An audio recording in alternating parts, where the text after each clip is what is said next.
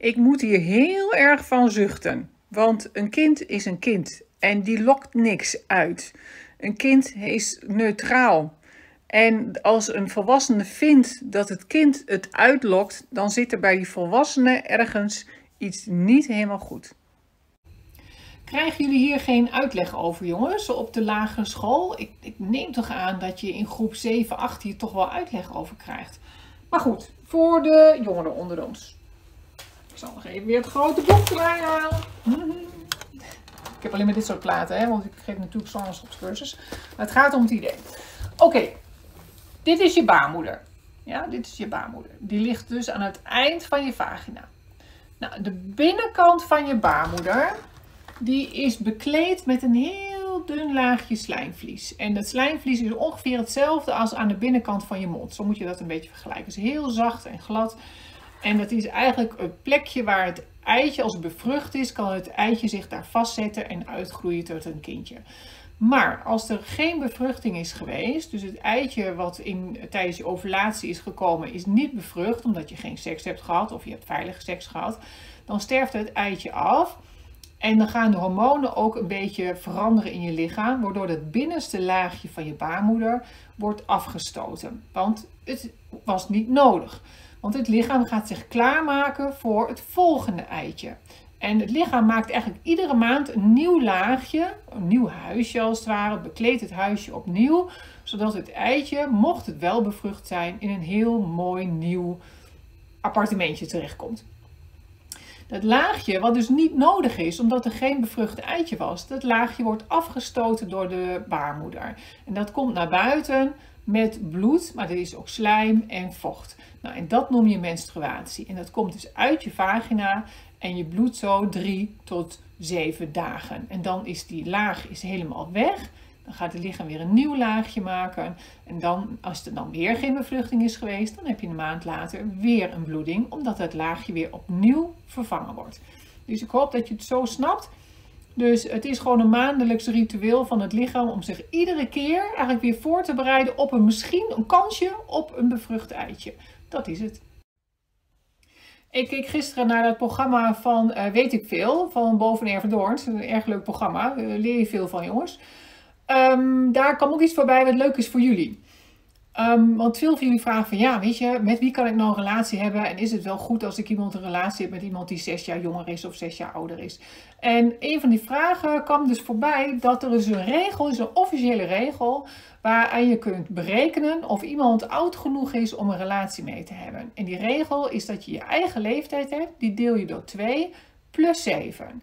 Dus je bent 16, gedeeld door 2 is 8, plus 7 is 15. Dus iedereen boven de 15, daar kun je dus een relatie mee hebben. Ben je 20, gedeeld door 2 is 10, plus 7 is 17. Dus ben je 20, dan kun je een relatie hebben van iemand van 17 jaar en ouder. Dus dat is voor jullie ook hartstikke goede regel. Dus uh, bereken dat maar eens een beetje uit. En bedenk maar eens of dat dan past bij jou en je vriend of degene waar je gek op bent of niet. Ja, maar ik denk dat het een beetje overeenkomt wat ik ook al steeds al zeg. Niet een te groot leeftijdsverschil in de puberteit. Max 1 tot 2 jaar verschil. En wacht maar eens een beetje tot je 15, 16 bent voordat je een echte serieuze relatie gaat knopen met iemand. Oké, we doen even een lesje biologie. Ja, voor de mensen, vooral de jonge meiden die niet helemaal goed weten hoe hun lijf in elkaar zit. Je hebt dus een plasbuis en je hebt een vagina. Dus je plasbuis komt vanuit je blaas. Die zit hiervoor. Achter de plasbuis loopt nog een gaatje, een opening. Dat is je vagina. Aan het eind van de vagina zit je baarmoeder. Nou, waar doe je nou die tampon in? Die tampon die gaat in je vagina. Dus niet in je plasbuis. Dus ook al heb je een tampon in je vagina, kun je nog steeds plassen. Ja, dus zodat iedereen het duidelijk heeft, zijn twee verschillende gaatjes. Uh, van vragen van jullie en ook opmerkingen van jullie in de comments merk ik wel dat sommigen denken van als je anale seks hebt, dan dat is geen seks. Dan blijf je maagd, want er gebeurt niks in die vagina.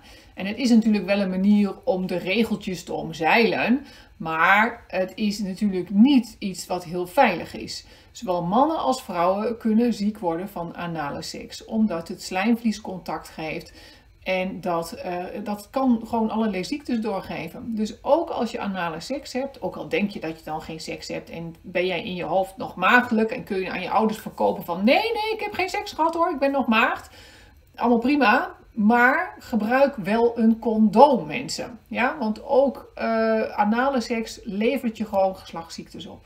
You guys need to go put some pants on. Uncle George is coming over. Ew, yeah, he gives me the creeps. I know, that's why I told you to go put some pants on.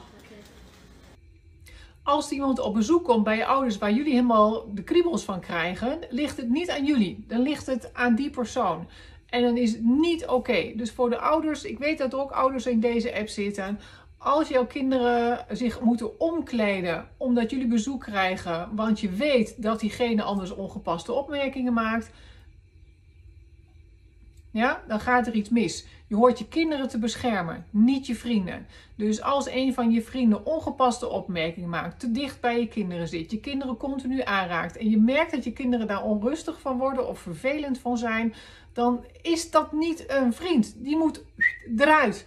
Ja, je moet je kinderen beschermen tegen de omgeving. En dat is je taak als ouders als jullie nog kind zijn in huis en je hebt een oom of een vriend of wie dan ook waar je helemaal kriebelig van wordt, dat je denkt, oh god, komt die langs, nou dan ga ik wel op mijn kamer zitten.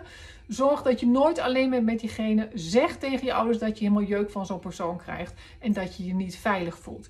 En als je ouders daar vervolgens helemaal niets aan doen, dan ga je de kindertelefoon bellen en bel je desnoods de politie. Ja? Maar zorg dat je kenbaar maakt dat er iets aan de hand is, ook hoeft die nog helemaal niet aangeraakt hebben, maar dat er het hoeft alleen maar opmerkingen te zijn, of naar je kijken, of dicht bij je zitten, of je voelt wel of er iets niet in orde is. Ja, en daar moet je echt wel wat aan doen. Dit is een aanvulling op het filmpje dat op de hoofdpagina staat van Pubusvraag, maar daar ben ik geblokkeerd, dus daar kan ik verder niks aanvullen. Dus dat doe ik nou hier. Um, er waren een aantal mensen die werden uitermate pissig over dit filmpje dat ik gepost heb. En in het filmpje zei ik dus dat als jullie in je familie of vrienden of wat dan ook van je ouders, waar je een beetje kriebelig van wordt en die ongepaste opmerkingen maken of die te dicht bij je staan of je aanraken als je ouders je niet zien, dat je daar wat voor moet gaan zeggen. En als je ouders daar niks op uitdoen, dat je dan naar een oom of een tante moet gaan of naar de politie desnoods. Nou, er zijn een aantal mensen waren daar heel erg geagiteerd over. En dan is het blijkbaar, wordt iemand daar toch een beetje zagrijnig van. Want ik, die vindt dus niet prettig dat ik jullie alert maak. En dat ik jullie erop wijs dat jullie, jullie lijf is van jullie lijf.